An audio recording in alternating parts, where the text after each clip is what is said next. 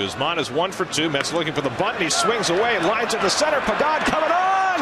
Did he make the catch or not? If he makes the If catch, made the catch, it's going to be a triple play. Reyes steps on second, the throw to first, and it's a triple play. Now, wait a second. The second base umpire, or the first base umpire, telling everybody to stop. Tim Tschida, the first base umpire and crew chief, is going to bring them all together. There was not a definitive call as Pagan came in and tried to make a catch, and Tschida saying, Who had the call? The base runners were confused, and now what are we going to get?